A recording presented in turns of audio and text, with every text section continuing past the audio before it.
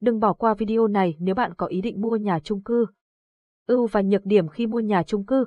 Ưu điểm, tùy dự án, hệ thống hạ tầng đồng bộ cho phép bạn được thụ hưởng tất cả những tiện ích gồm siêu thị, quán cà phê, khu vui chơi trẻ em, công viên cây xanh, ngân hàng, trường học, nhà thuốc, hồ bơi, phòng tập thể dục thẩm mỹ, sân đánh tennis, bóng đá, hồ cảnh quan. Tất cả các phòng trong căn hộ đều nằm trên cùng một mặt bằng, yếu tố này phù hợp với người già và trẻ em. Tất cả các khâu, các bộ phận trong chung cư đều được ban quản lý điều hành và giải quyết, an ninh đảm bảo 24 trên 24, có hệ thống camera, thẻ từ ra vào. Nếu bạn ở tầng trung đến tầng cao, không khí thoáng đãng và mát mẻ, bạn sẽ được tận hưởng cảnh quan đẹp và thư giãn sau mỗi ngày làm việc vất vả. Có thể vay ngân hàng mua trả góp cùng phương thức thanh toán linh hoạt, đóng tiền chia nhỏ từng đợt từ khi bắt đầu xây móng nhà.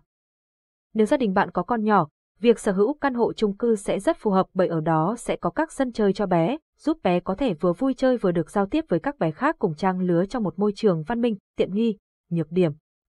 Sinh hoạt hàng ngày bất cập về đi lại, vì cả tòa nhà chung cư sử dụng chung hệ thống thang máy. Khi bạn muốn xây dựng hay sửa chữa căn hộ của mình thì cần có sự đồng ý của chủ đầu tư hoặc ban quản lý tòa nhà. Hàng tháng bạn phải trả phí dịch vụ như an ninh, vệ sinh, gửi xe, quản lý hoặc phí bảo trì. Dễ bị ảnh hưởng bởi các âm thanh xung quanh, đặc biệt là những gia đình có trẻ con. Nguy cơ cháy nổ và thiệt hại cao hơn so với nhà ở riêng lẻ, nhà chung cư dễ bị xuống cấp theo thời gian. Nhiều trường hợp nhà chung cư bị giảm giá, khó bán sau một thời gian dài sử dụng. Hệ thống điện nước, trần mái, cống, rãnh đều được sử dụng chung với các căn hộ khác nên khó tránh khỏi bất cập nếu có sự cố hư hỏng, xuống cấp. Tầng hầm là nơi giữ xe chung của các cư dân trong căn hộ nên khó tránh khỏi việc chảy xe, mất nón bảo hiểm nếu không bảo quản cẩn thận. Có những căn hộ do xuống cấp nên hệ thống hố ga hoạt động không tốt, dẫn đến tình trạng ngập nước tầng hầm, gây ngập xe của cư dân.